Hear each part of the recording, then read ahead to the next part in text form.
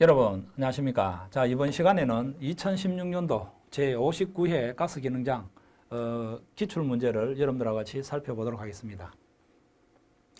자 1번에 보시면은 어, 공개카 분리기에 설치되어 있는 액화산소 5리터 중에서 아세틸렌 또는 탄화수소의 탄소의 질량은 얼마 이상일 때 운전을 중지하고 액화산소를 방출해야 하는가?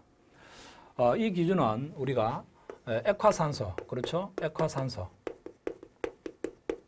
액화산소 5리터 중에서, 그죠? 5리터 중에서 C2H2, 아세틸렌의 질량이, 아세틸렌의 질량이 얼마?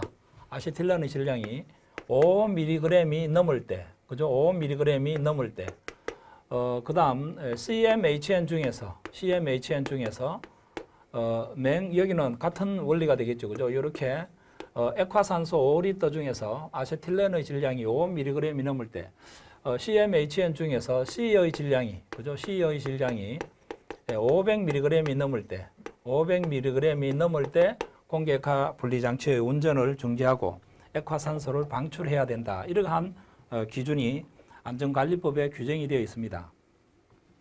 자 그러면 여기서 아세틸렌의 질량이 1mg이 아니라 5mg이 되어야 되겠죠. 그러니까 1번, 2번은 잘못된 말이다라고 볼 수가 있겠습니다. 어, 그 다음에 탄화수소의 탄소의 질량이 이것도 잘못된 말이죠. 그죠? 탄화수소 중에서 탄소의 질량이 500mg이 넘을 때 여기에서 탄화수소 중에서 탄소의 질량이 500mg이 넘을 때 공개액화 분리장치의 운전을 중지해야 되겠다. 이렇게 여러분께서 정리를 하시면 되겠습니다. 자, 그 다음 두 번째 문제를 보도록 하겠습니다. 두 번째 문제. 어, 1kg의 공기가 일정 온도에서 어, 평창했다. 그죠? 최적의 6배가 되었다라고 되어 있습니다.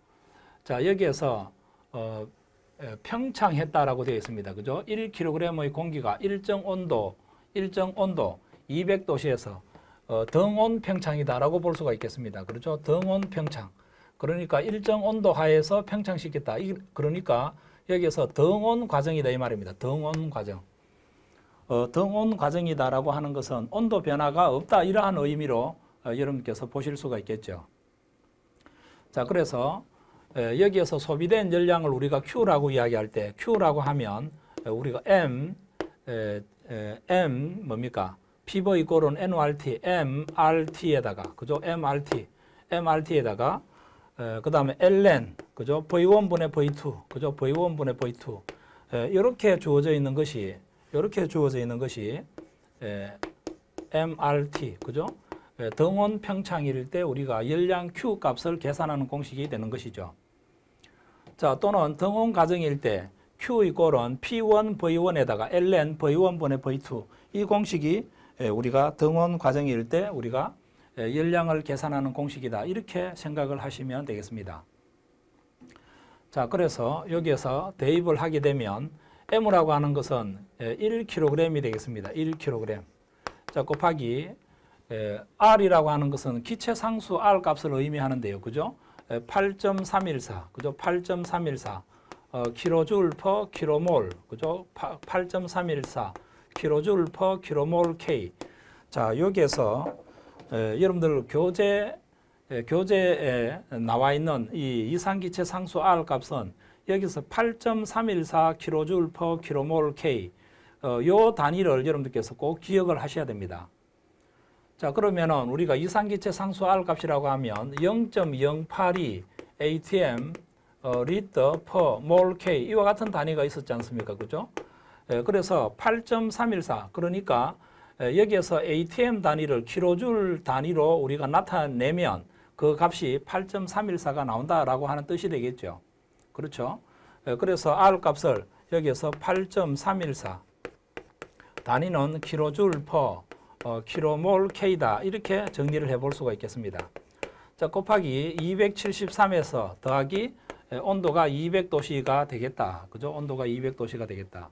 자 곱하기 ln 자 V1이 예, 최적이 처음의 6배가 되었다. 1분의 6 이렇게 하면 되겠죠. 1분의 6. 자 그런데 여기에서 보시면 여기에서 보시면 자, 요것은 조금 이따가 적도록 하고요. 그죠? 어, 273에다가 더하기 200K다 이렇게 단위를 대입을 시켰죠. 그죠? 자, 여기서 K 값이 이렇게 약분이 되어서 떨어져 나가고 여기에서는 킬로그램이 되겠고 여기에서는 킬로몰 단위가 나와 있죠. 단위가 약분이 되지 않기 때문에 곱하기 이 킬로몰을 어, 킬로몰을 어, 1킬로몰이라고 하면 그죠? 1킬로몰이라고 하면 공기는 어, 몇 그램이 1킬로그램이 되겠습니까? 1킬로몰이라고 하면 29킬로그램이 1킬로몰이 되는 것이죠. 그렇죠? 공기 중에는 에, 질소하고 산소가 이렇게 혼합이 되어 있는 것이다. 자, 킬로그램, 킬로그램 약분, 킬로몰, 킬로몰 약분 이렇게 약분이 되어서 떨어져 나갑니다. 자, 여기에서 킬로줄 단위가 나왔죠. 그죠? 킬로줄 단위가 나왔습니다. 그죠? 곱하기 ln에서 처음에 체적의 6배가 되기, 예, 되기 때문에 어, 이렇게 여러분들께서 계산을 하시게 되면 어, 이 값이 얼마 나오는가 하면 243이다라고 하는 숫자를 얻어낼 수가 있다.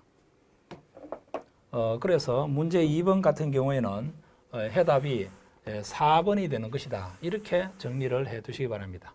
해답이 4번이 되는 것이다. 예, 이와 같은 형태로 정리를 하시면 되겠습니다.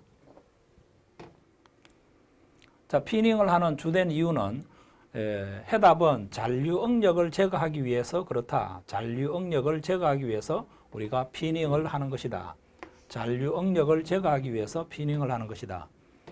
어, 우리가 용접해 놓은 어, 부분에는 에, 우리가 응력이 상당히 약해져 버리게 됩니다.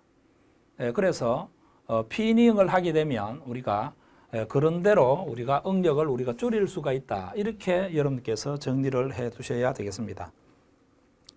예, 그래서 잔류 응력을 제거하기 위해서 그렇다. 이렇게 정리를 하시면 되겠습니다.